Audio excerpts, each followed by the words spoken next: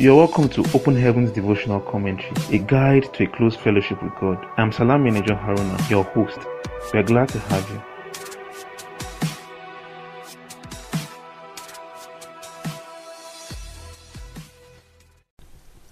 Hello, good day, and thank you for joining us today again.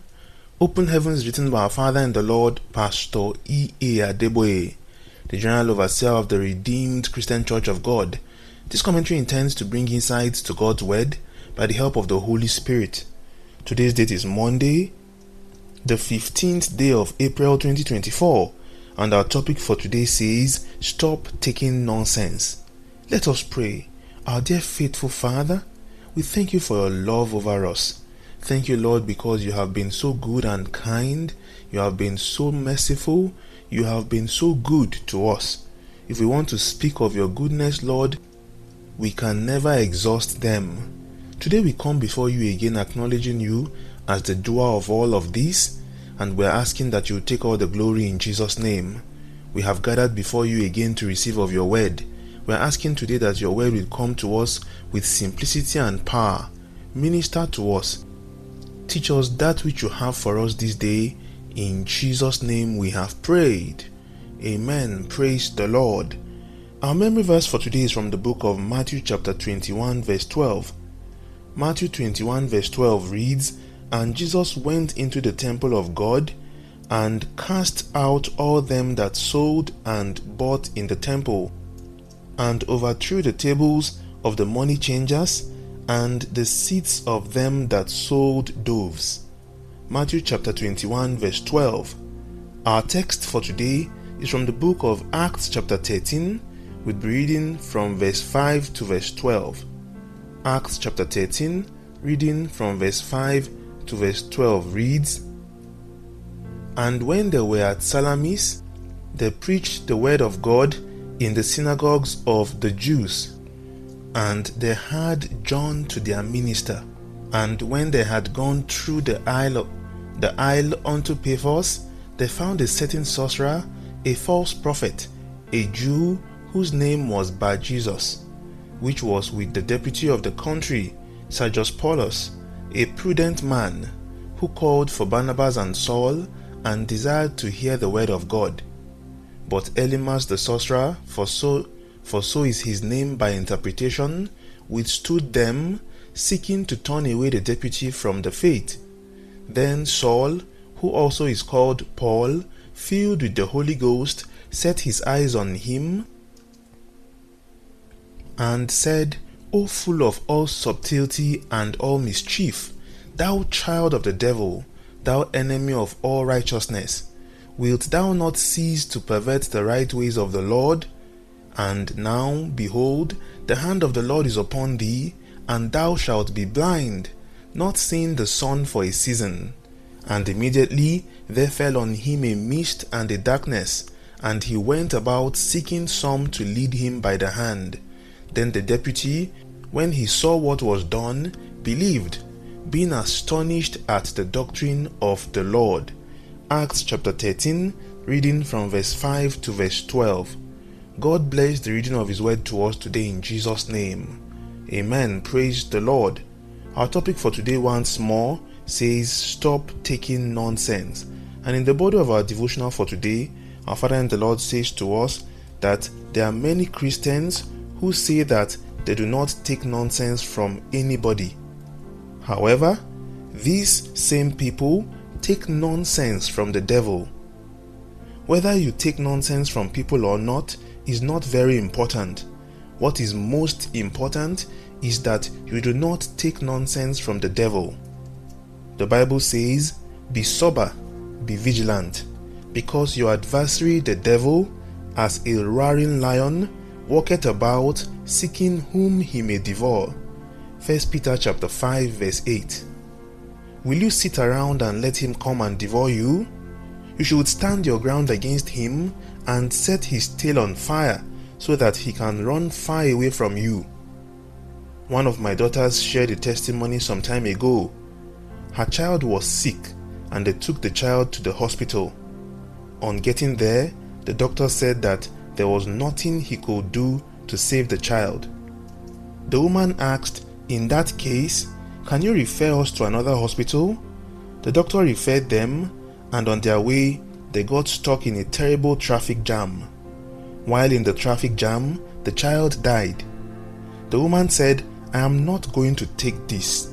And after five hours on the road, she suddenly had a brain wave. She said, At least my father will call his God, and his God will answer. I will call on the God of my father, and I even have a handkerchief that he once prayed over. She laid the handkerchief on the child, called the child's name, and commanded him to come back to life. The child jerked awake, and there was no need to go to the hospital anymore. When you are determined not to let something evil happen, your prayers will be more fervent than usual. There are probably things in your life that the devil has been using to torment you. These things will only stop when you become determined not to take any nonsense from him again.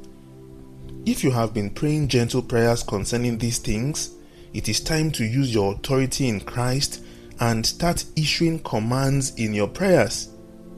You must, however, submit yourself to God first before you can successfully stand up to the devil. James chapter 4 verse 7 says, Submit yourself therefore to God. Resist the devil and he will flee from you. If you are sure of your right standing with God, when you resist the devil, he will run away from you. Stop taking nonsense from him.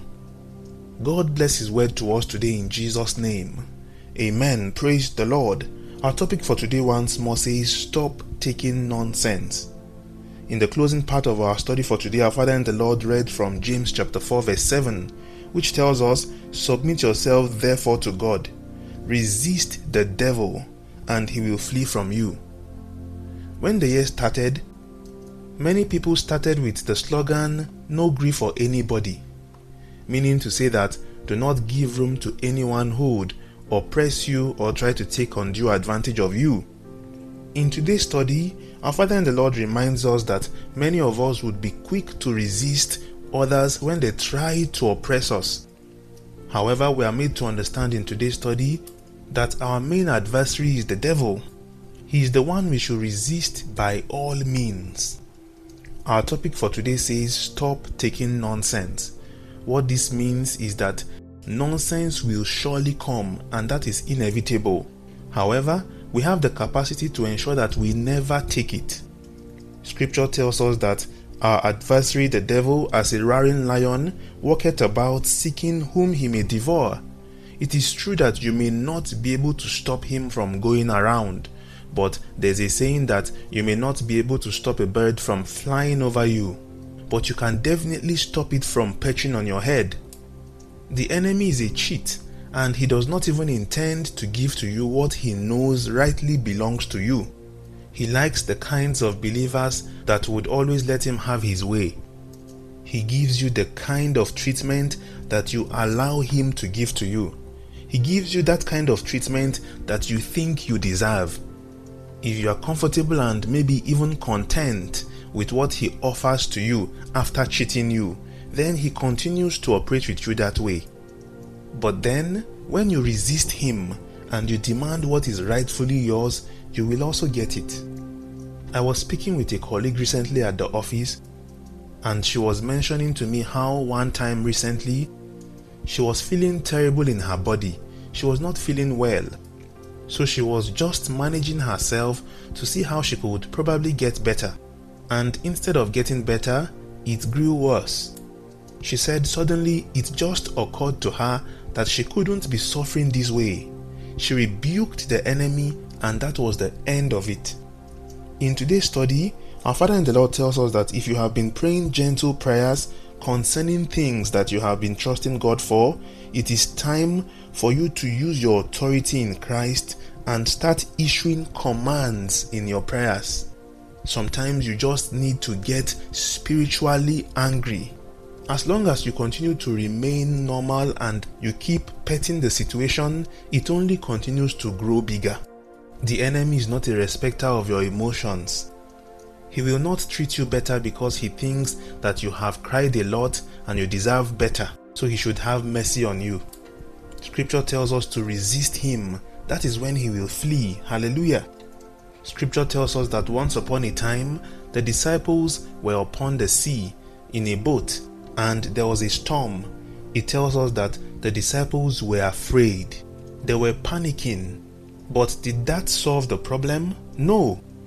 They had to go and wake our Lord Jesus Christ, who was sound asleep at the back of the boat.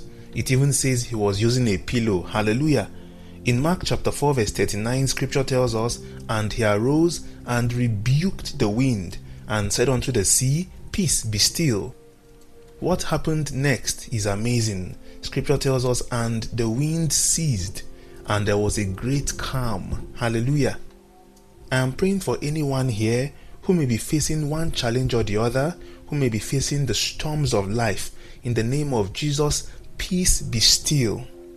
I would like us at this point right now to bow our heads and become aggressive in the spirit. It is not time to pamper that issue.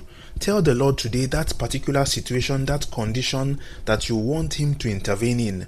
Begin to make decrees and declare that let those manipulations, everything that is not of God in your life, cease now in the name of Jesus. Begin to tell the enemy that enough is enough. That pain that has existed for so long, let it come to an end today. That challenge that has been marking register for a long time, let it come to an end now in the name of Jesus. Whatever it is that has made you lose sleep, whatever it is that has made you agitated, in the name of Jesus, let it cease and let it end now in the name of Jesus. Tell the enemy, say, in the name of Jesus, my life is a military zone. Keep off. Leave this place and never return again in the name of Jesus.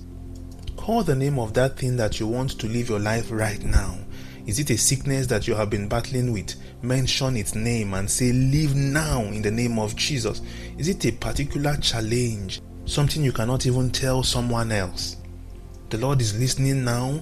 Call that thing by its name and say, Live right now in the name of Jesus. Begin to declare your freedom. Say, I am free in the name of Jesus. Worship the Lord, thank Him, and give Him praise for answers to prayers. Father, we are grateful. In Jesus' name we have prayed. Our dear Father, we give you thanks and we worship you, King of glory. Thank you for your word today that reminds us that we are not to take nonsense from the enemy. We ask, O Lord, that you would grant us the grace to resist the enemy wherever he shows up his face in our lives and to receive the victory. In Jesus' mighty name we have prayed. Amen. Praise the Lord. We have an action point in today's study that tells us command the devil to take his hands off your life and everything that concerns you now. We declare in the name of Jesus that the works of the enemy cease operation in our lives from this moment moving forward in Jesus' name. Amen. Praise God. We have in our Bible in one year reading plan for today to read from the book of 1 Kings chapter 19 down to chapter 20. We want to thank you and appreciate you for joining us today. God bless you. If you'd love to speak to someone or to receive updates like this sent to you daily, please do well to send a WhatsApp or Telegram message to plus 234 80 986 11226. Do well also to like, share, comment, and subscribe to our various platforms available. Our hymn for today is the hymn 24 of our Open Heavens devotional. We'll be singing That Wonderful Name. Have a beautiful week ahead filled with testimonies of great victories. See you tomorrow again by God's grace. God bless you and bye for now. Jesus, that wonderful name. Jesus,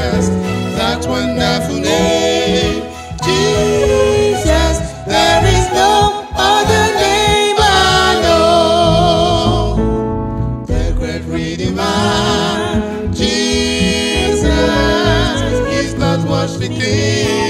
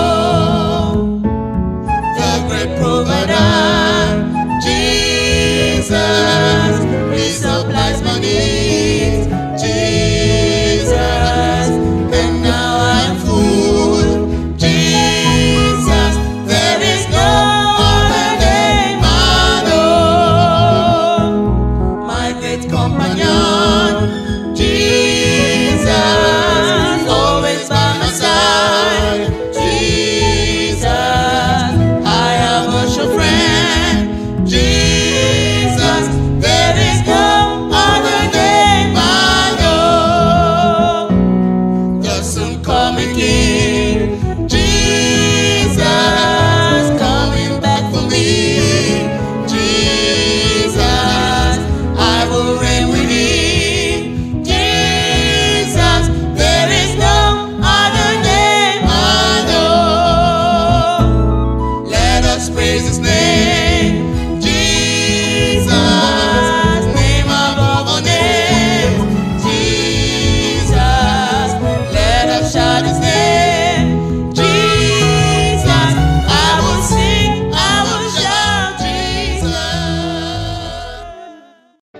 I believe today's devotional blessed you.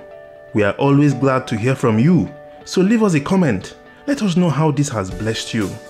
Also, remember to follow us on all our social media handles to get more like this. You can share this with someone to bless them too. We gladly look forward to seeing you tomorrow again. Have a fulfilling day ahead. God bless you.